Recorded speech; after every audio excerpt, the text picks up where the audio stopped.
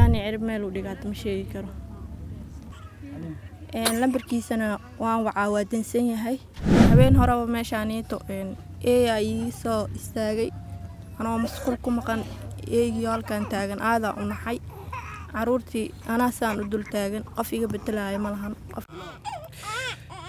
Runtii daruuf uu qof bini aadan ah ku jiro waa arki jiray laakiin middan waa mid xanuun badan dareentaaba leh qalbiga qofka bini aadamka ah ee halkan galana runtii aad uu u gubanayo. Hooyo xaliima maxamed axmed saddex mataano ah ayaa lagu qalay umul ayay ku jirtaa laba wiil iyo gabar waxayna ku nooshahay kaamkan oo ku yaalla tabeelaha sheekh ibraahim oo ah duleedka muqdisho. Isbitaalka soos ayay ka soo baxday. Hadda waxay u tahay siday ii sheegtay labaatan iyo sagaal beri soddonkii cisho ama bishii waxaa uga harsan hal maalin lix bilood iyadoo saddexdan mataanaha ku sida carruurta ayay ninkeedii kala tageen. Jaan iyo cirib meel uu dhigay dabcan ma taqaano. Isaguna nasiib xumadiisa in saddex carruur ah ilaahay uu siiyey hadiyad aada u qurux badan maanta ma oga. Buushkaanay ku nooshahay oo aad dareemi kartaan in saddex carruur ah oo mataano ah aysan wax nolol wanaagsan uga suurtagelayn iyo qof kale oo bini aadana toona. Waxay ii sheegtay in habeen dhoweyto iyadoo bannaanka u aaday xaajo ama musqul inay halkan ugu timid ey hortaagan carruurta oo quudaraynaya macnaha inuu cuno. Walaal waa u jeedaa horta xaaladaan ku noolahay buushkaaniitaan iskaga noolahay. Maamaha ahay oo saddexdan carruur lagu qalay dhibkayga waan iska qabaa. Xanuun oo hadda zaa'id waa dareemayaa laakiin xanuunkaas ma arko. Waayo waxaa ii cad ilmahaniito kolba waa dareemi kartaa hooyo soomaaliyeed oo dhibaatadan iskaga jirto.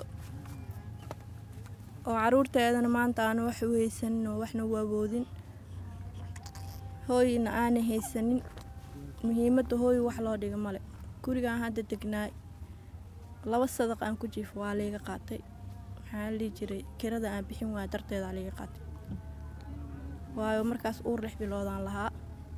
Hadeertaaniitana intaan hadda meeshaan waxaan joogaa buushkaan hataa waddada ay usu taqaystaan malihi waayo ani meeshaan maku noolaan jirin. Dhibaatadaa meeshaan isoo baday. Ummadda soomaaliyeed waxaan ka codsanayaa meeshaan inay meel dhaanta maxaa lii jiray ii sameeyaan. Hooyi aan ku noolaado hadday ii heli karaan aaway ilmahan allaha kuu daysto marka hore waa kugu ducaynayaa aabbahood meh. Aabbahood ana uur lix biloodaan kala tagnay. Aadaan isu dagaalnay. Uurkii ugu dayriyey waan kala tagnay. Hadda anna ma sii dabadabaysananoo ma sii raadinin. Jaani cirib meel u dhigaata ma sheegi karo. In aad carruur u dhashay saddex mataano ah ma ma ogya inuu ogyahay ma sheegi kari hadduu ogyahay waxaan waxaan malayn lahaa inuu isoo raadin lahaa. Lambarkiisana waan wacaa waa dansan yahay. Marka ummadda soomaaliyeed iyagaa maanta aan garab oga baahanahay meel walba ay joogaan dal iyo dibad madaxweynaha sharafta leh ra'iisul wasaaraha xildhibaan.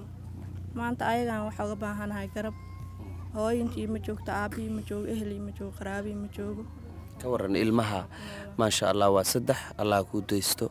Ma intee wiil ah? Ma wada gabdhaa maasha allah lawaa wiil ah. Halna gabar waaye ilmaha. Labadee wiil halkeesa gabar? Labadaana wiil ah. Midaana gabar ah.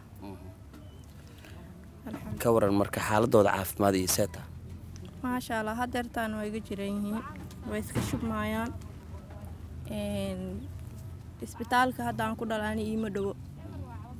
Markaan ka soo baxay ilaa haddana afartan iyo shan beri shan jeer camalaan ku noqday markay idhadhayaayeen oo markaan tagaaya haddaa lacagtiis waa lii aruurin jiray waayo tagsiyaa u baahana jugjugtu way dhibeen. Haddana afartan iyo shan beri kabacdiyeedheen igu soo laabo.